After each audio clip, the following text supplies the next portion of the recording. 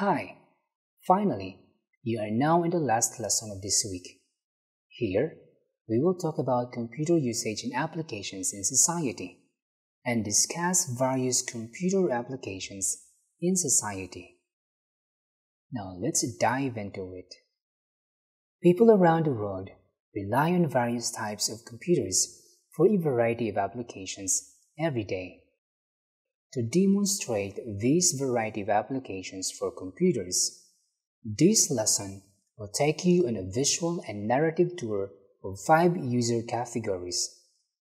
A home user, a small user of the workplace or home office, a mobile user, a power user, and a company user or a big user.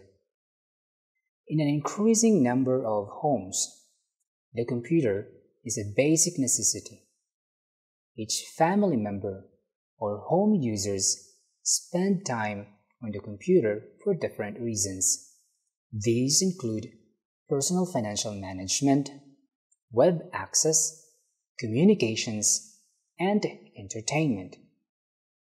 Personal financial management. Most of the time, especially during a crisis, most of the people do transact online and prefer online billing or banking because you can access the web or any online services as long as you have internet connection and you can use your computer to browse over the internet, do some research, and many more.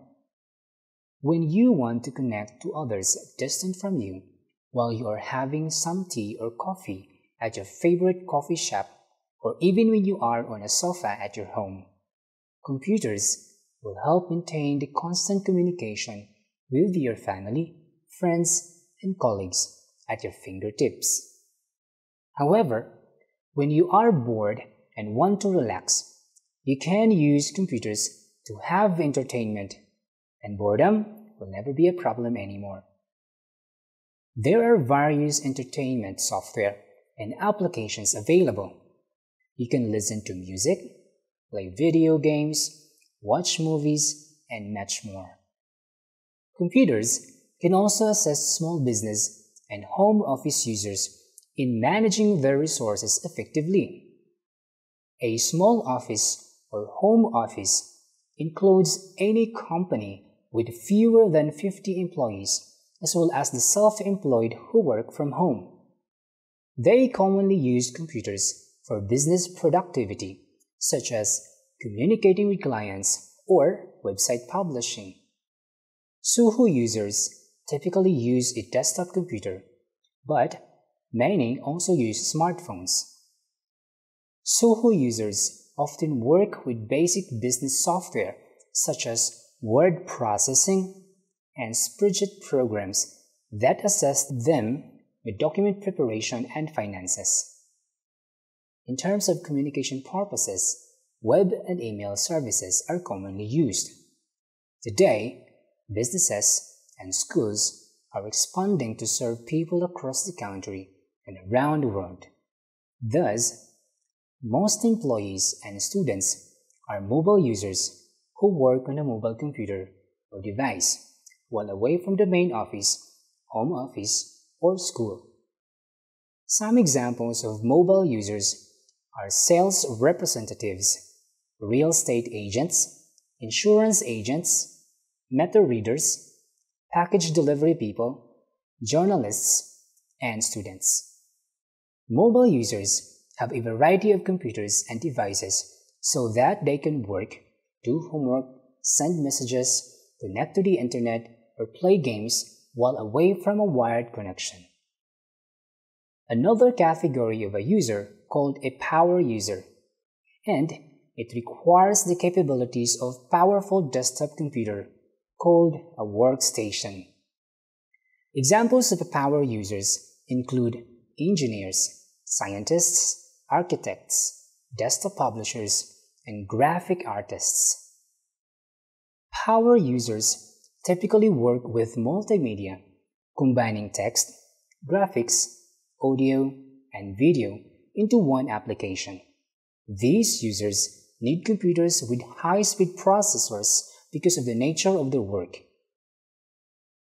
An enterprise has hundreds or thousands of employees or customers that work in or do business with offices across the region, the country, or the world.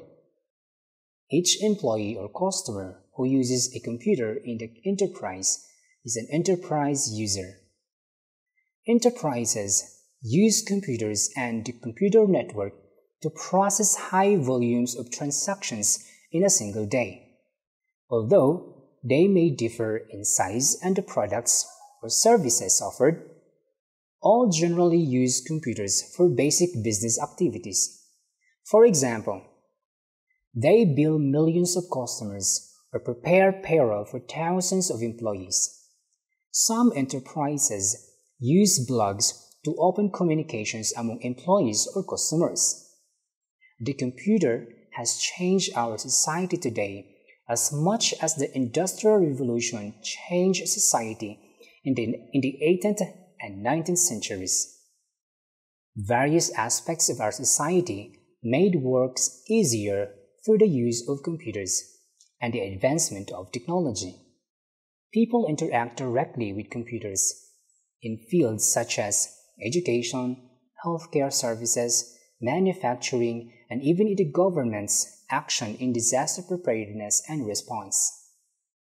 Besides, they can reap the benefits of breakthroughs and advances in these fields. Accordingly, education is the process of acquiring knowledge. In the traditional model, people learn from other people, such as parents, teachers, and employers. Today, educators also are turning to computers to assist with education. Say, for example, in the image shown, the teacher uses an electronic board to present the lesson interactively. Other people and companies use computers to help manage their finances. Some use finance software to balance checkbooks, pay bills, track personal income and expenses, manage investments, and evaluate financial plans. This software usually includes a variety of online services. For example, computer users can track investments and do online banking. With online banking, users access account balances, pay bills, and copy monthly transactions from the bank's online information system right into their computers.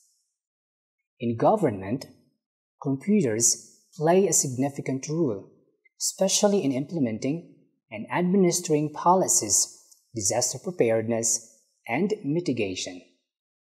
Say, for example, in the image, monitoring of a typhoon becomes efficient with the use of advanced monitoring tools and special purpose computers. In the field of healthcare, doctors, nurses, technicians, and other medical staff use computers and computerized devices to assist with medical tests. All branches of science, from biology to astronomy to meteorology, use computers to assess them with collecting, analyzing, and modeling data. Scientists also use the internet to communicate with colleagues around the world. Even many magazines and newspaper publishers make the content of their publications available online. Many vehicles manufactured today include some onboard navigation systems. Some mobile users prefer to carry specialized handheld navigation devices. This handheld navigation device gives users turn-by-turn voice-prompted directions to its destination. Today, the manufacturing industry embarked on computer-aided manufacturing. This refers to the use of computers to assist with manufacturing processes such as fabrication and assembly. Often, robots carry out processes in a CAM environment. CAM is used by a variety of industries, including oil drilling, power generation, food production, and automobile manufacturing. The image shows the automotive factories which use industrial robots to weld car bodies. In this lesson, you were able to identify the types or categories of computer users. The home user, small office or home office user, mobile user, power user, and large business user.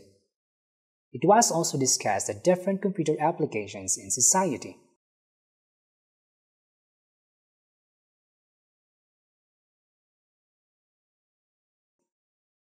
This ends your week 1's lessons. I hope you learned a lot about computers.